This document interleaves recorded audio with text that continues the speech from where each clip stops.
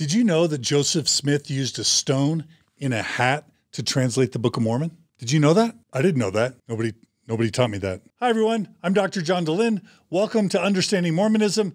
Today we're going to answer the question, why did Joseph Smith use a seer stone to translate the Book of Mormon? Let's get started. If any of you are like me, you were taught that this was the way that Joseph Smith translated the Book of Mormon. That he sat at a table with the plates in front of him, staring at the plates, possibly with the Urim and Thummim or some spectacles and a breastplate attached to his body. It turns out that that's not the way that Joseph Smith translated the Book of Mormon. So how did Joseph Smith translate the Book of Mormon? It turns out that this is the way Joseph Smith translated the Book of Mormon. He would take a stone, put it in a hat, put his face in the hat, and then dictate the text of the Book of Mormon. Just to illustrate, He'd take a stone, put it in a hat, put his face in the hat, and dictate the text of the Book of Mormon. Did you know that? I didn't know that. Nobody taught me that. So, where did the stone in the hat come from? I do want to refer you to two previous episodes that go a little bit more in depth than we will today. Number one, how did Joseph Smith become a treasure digger? And number two, was Joseph Smith's treasure digging fraudulent? But just to summarize, here are the main points. During Joseph Smith's day, there were legends throughout New England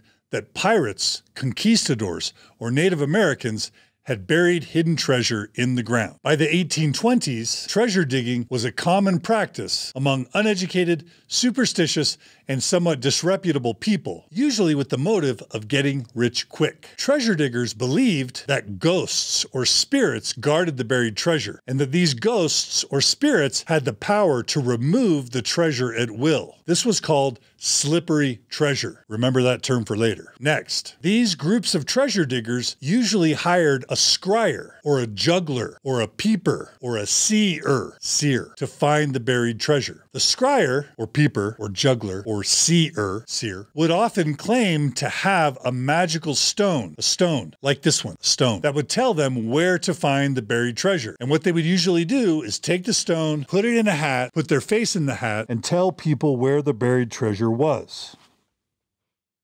Next, Scryers would be hired on for money. They would lead the treasure diggers to a site, have them dig super large holes for multiple days, and then right when they would get to the point of actually finding the buried treasure, the scryers would say, Oh no, you didn't touch your elbow right. You didn't kill the chicken right. Sorry, guys. Remember that ghost and that spirit? The treasure was slippery. The ghost or the spirit took the treasure away. It's gone. Sorry, guys. Don't forget to pay me. I repeat, two important things here. Number one, the scryers would always get paid. And number two, no treasure was ever found by any scryer, ever.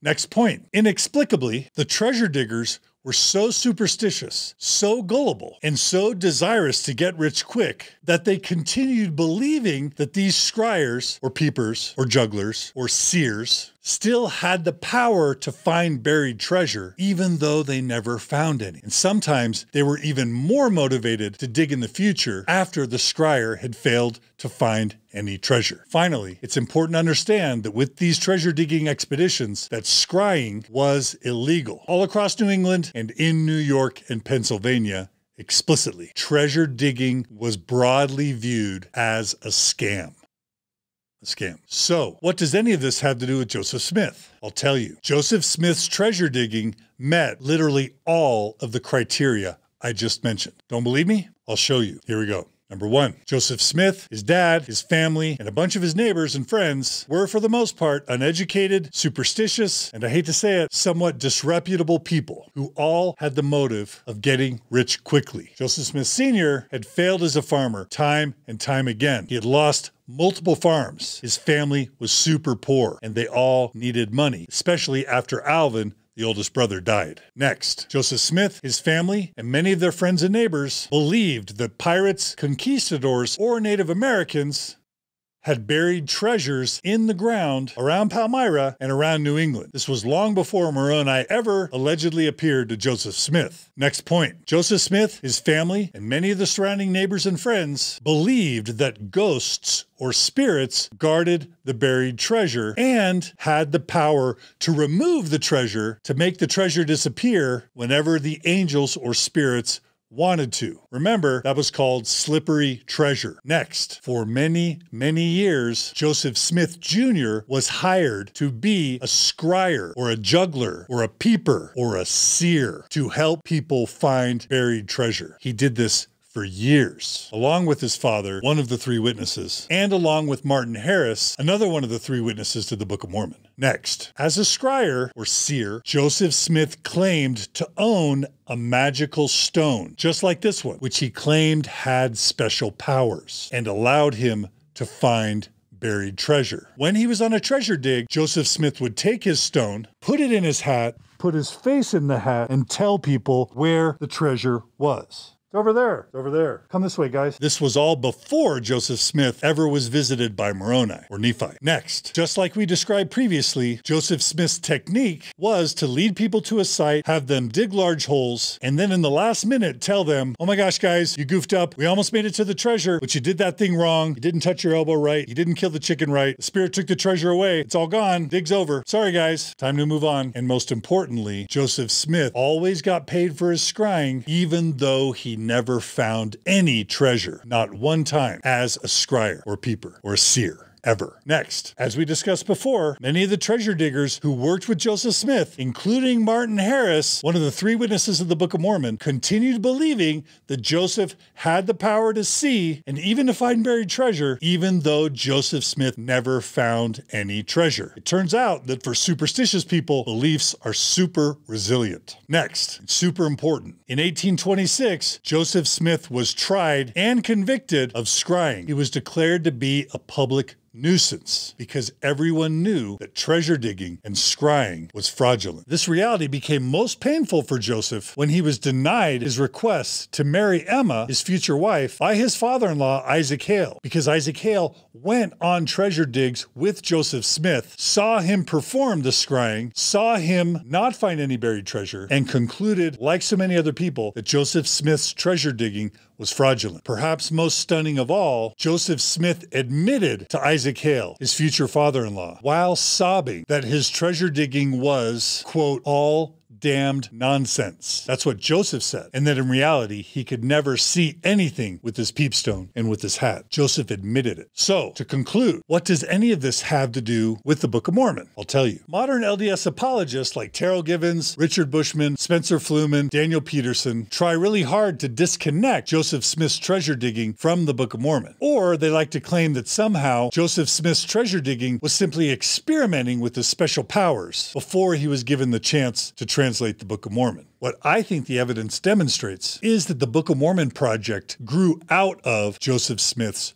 treasure digging. It was a way for Joseph Smith to convert his scrying skills and his reputation of having special powers into a new money making project, the Book of Mormon. And most importantly, it became a new legal way to make money to support his burgeoning family. I understand that some of you may not like this explanation, but please allow me to share with you the parallels between the Book of Mormon project and Joseph Smith's treasure digging. Here goes.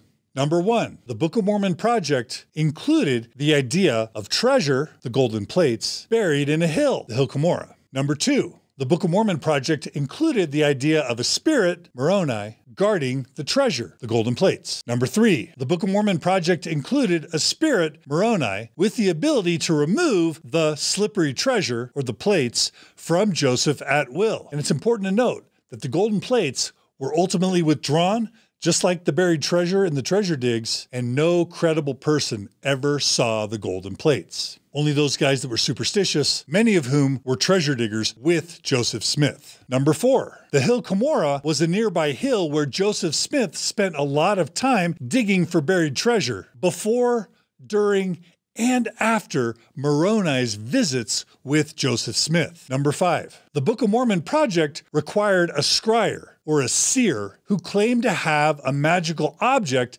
with special powers, the Urim and Thummim or seer stone, to find the buried treasure, just like with the treasure digging. Number six, the Book of Mormon itself discusses treasure digging, and even slippery treasure, and even the role of a scryer or a seer. It's in the Book of Mormon. Let me read it for you. From Moroni 118. Insomuch that the inhabitants thereof began to hide up their treasures in the earth, and they became slippery. Next, we read in Mosiah chapter 8. And here's the coolest part. And the king said, that a seer is greater than a prophet. Did you catch that? Seers are greater than prophets. Number seven, the very term seer of prophet, seer, and revelator comes directly from Joseph Smith's treasure digging, along with being in the Bible. But still, number eight, and this one's crazy. The names Cumorah and Moroni were commonly associated with treasure digging during Joseph Smith's time. People who read about Captain Kidd loved a treasure dig and would read in the Captain Kidd novels the names Cumorah and Moroni. Point number nine. As with the treasure digging, the Book of Mormon project involved a host of gullible and superstitious followers. It's a little bit uncomfortable to acknowledge this, but Joseph Smith Sr., Martin Harris, Oliver Cowdery, all the Whitmer brothers were superstitious, were gullible, and most, if not all of them, were treasure diggers. And they're the Book of Mormon witnesses. Number 10, as with the scrying, there was a very strong financial motive on Joseph Smith's part to write the Book of Mormon. As a newlywed, Joseph desperately needed money and he knew that he was not going to be a successful farmer. He tried that, didn't work. The Book of Mormon became a new way to make money based on his reputation of having special powers to find hidden things. This is evidenced by the fact that Joseph Smith tried to sell the copyright of the Book of Mormon later on. Number 11. As with treasure digging, the investor in the Book of Mormon, specifically Martin Harris, lost a ton of money. Number 12. We're almost done. As with treasure digging, many of the followers of Joseph Smith and the Book of Mormon believed that Joseph Smith had seen golden plates long after the angel or the spirit had withdrawn the slippery treasure or the golden plates from Joseph Smith's possession. People believed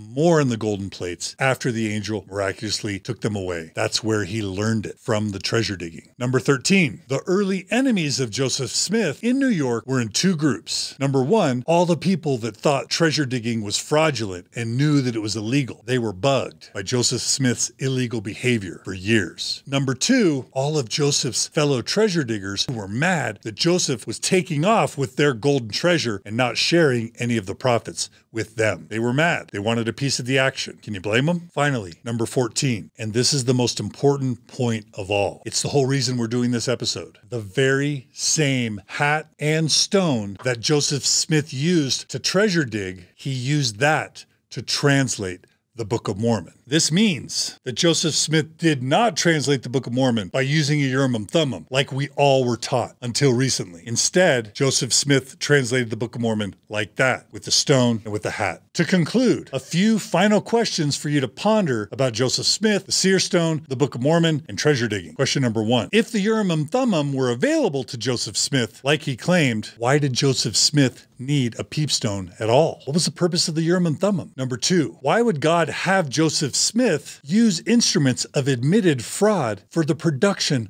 of his holiest scripture. It makes no sense. Why would Joseph Smith use instruments of fraud to produce sacred scripture? Number three, why were the plates needed at all if Joseph Smith didn't even use them in the translation process? That's a lot of metal, and a lot of smelting, and a lot of engraving, and a lot of carrying, and a lot of digging, and a lot of running, and a lot of hiding, and a lot of effort to never use the plates. Next question Why did the LDS Church leadership hide and mislead its members and investigators for over a century about Joseph Smith's use of a peepstone, his treasure digging, and his use of a peepstone and a hat for the translation? Of the Book of Mormon. Why did they hide it? What were they concerned about? What's there to hide? It's a good question. What's weird about this? And next, something that's near and dear to my heart. Why did we learn the truth about the seer stone in the Book of Mormon from South Park, a cartoon on Comedy Central, before we learned about it from our sustained prophets, seers, and revelators. Why do we learn this from South Park? Last question. If LDS church leaders all carry the seer title, why do these prophets, seers, and revelators no longer use a peepstone? They're seers. The Book of Mormon tells us what it means to be a seer. Why aren't they using their seer stones to give us revelation? When's the hurricane coming? How do we stop COVID 19? Where should we invest our funds? Uh oh, the internet's coming. These are all pretty good uses of a seer stone if you're a seer. So that's our presentation today. I hope you've enjoyed enjoyed this is my best explanation as to why Joseph Smith used a seer stone to translate the Book of Mormon. Thanks for joining us today. I'm Dr. John Dehlin. This is Understanding Mormonism. Please subscribe to our YouTube channel below. Please share this video with as many people as possible. Please share with us your comments and experiences in the comments below here on YouTube or on Facebook. Please email us at understandmormonism at gmail.com, not understanding Mormonism, understandmormonism at gmail.com. And if you want to help us prepare future episodes, future scripts, future topics, future PowerPoints, please email us your research at understandmormonism at gmail.com. Thanks, everybody. This has been a pleasure. Hope to see you all real soon on Understanding Mormonism. Take care, everybody.